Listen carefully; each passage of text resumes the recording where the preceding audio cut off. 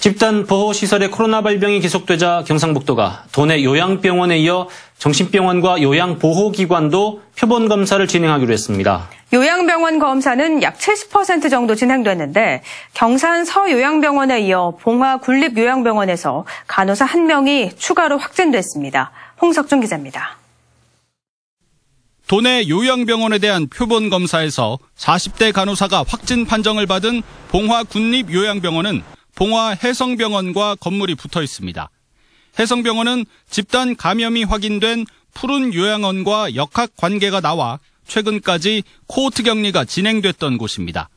감염 경로에 방역 당국이 촉각을 세우는 가운데 병원 환자와 입소자 247명 전원에 대한 검사가 진행 중입니다. 경상북도는 도내 110군데 요양병원의 표본 검사가 마무리 단계에 접어들면서 예방적 코호트 격리에서 빠졌던 정신병원과 주간보호기관에 대해서도 추가로 표본 검사를 진행할 계획입니다. 도저히 돌볼 사람이 없는 몸은 아프고 돌볼 사람 없는 그런 분들은 나왔습니다.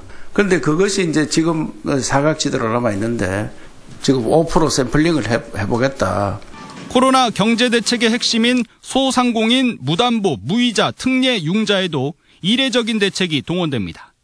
신청이 폭증하면서 현재 보증 심사만 5천여 건이 밀려 있는데 농협과 대구은행의 전현직 심사역 100명이 경북 신용보증재단 10개 지점에 파견돼 보증 심사 기간을 단축시키기로 했습니다. 농협과 또 대구은행의 힘을 합쳐서 일주일 내로 모든 걸 처리할 수 있도록 그리 하겠습니다.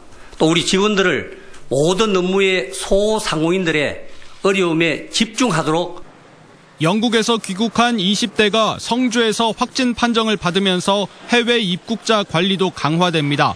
특히 지난 일요일 이후 국내에 들어온 유럽발 입국자는 공항에서 음성 판정을 받아도 국내 거주지에서 14일간 격리되고 시군 보건소에 관리를 받게 됩니다.